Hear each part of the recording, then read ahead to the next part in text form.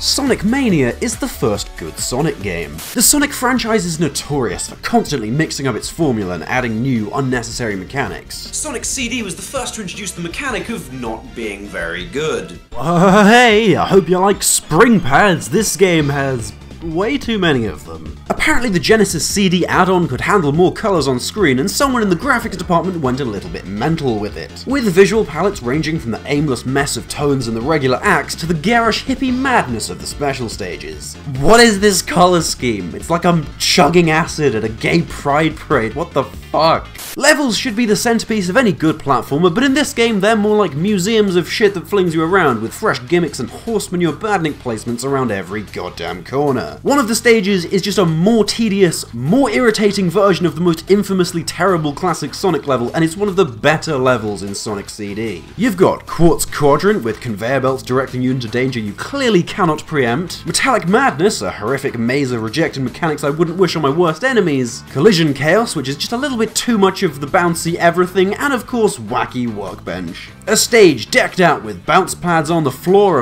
of electricity and ice jets in the middle, and just make all the platforms spinning because we sure as hell wouldn't want to make this pleasant. I mean, it's a video game, not some kind of. hmm. Oh look, it's some pink Sonic fangirl. I sure hope she becomes a recurring main character.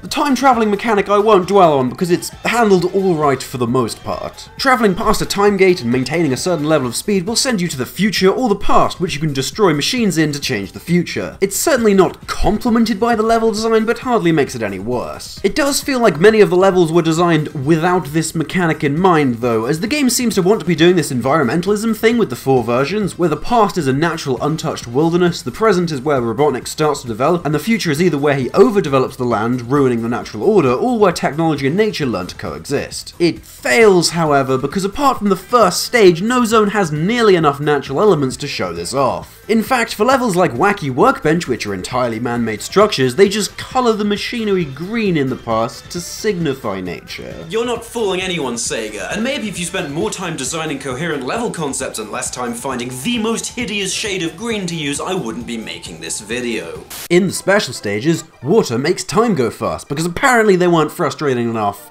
Oh, death, take me now. The music in this game is a compositional masterpiece. With the four time periods for both the Japanese and American soundtracks, every level has eight different themes, and incredibly, on every stage, all eight of them are completely forgettable. Okay, musical taste is subjective and the Japanese Stardust Speedway is decent, but apart from that it's nothing on Sonic 2s or 3s or even 1s. And while you could feasibly appreciate them as songs in their own rights, as a soundtrack it fails because no song remotely fits the level it's paired with. In a title like Sonic 2, a complete stranger could very easily match the music to descriptions of the levels without having to play the game. You've got the rolling hills, the dank and sleazy casino, or the dim, mysterious, and spooky cave. In Sonic CD, they all blend together, with a couple of exceptions being the aforementioned Japanese Stardust Speedway and the most unnecessarily edgy and disturbing Sonic theme that is the American version boss music. It's just unnecessary.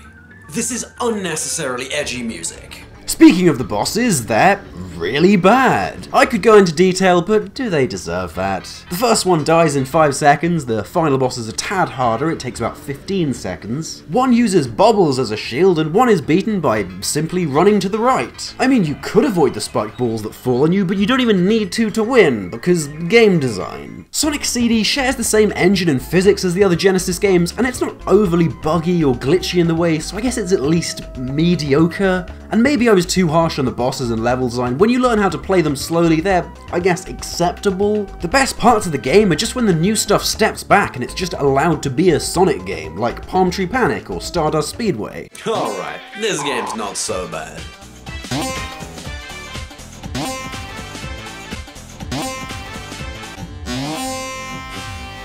Why is there a spring there? It's not even a hazard, just a minor inconvenience. It seems a petty gripe, but this is an active decision in a critically acclaimed title in a major video game franchise that does nothing but detract from the experience. Is this a joke? Is this whole game just one big joke? This title seems to actively resist being enjoyed. There are good elements and assets, and it was building on a solid foundation, but so much went so badly wrong, making this without a doubt the weakest main series classic Sonic game. Awful bosses, offensively bad level design, and one of the ugliest aesthetics of any 16-bit platformer out there, this game just pisses me off. Oh, sure, that's fair. Fuck this, I'm playing Mania.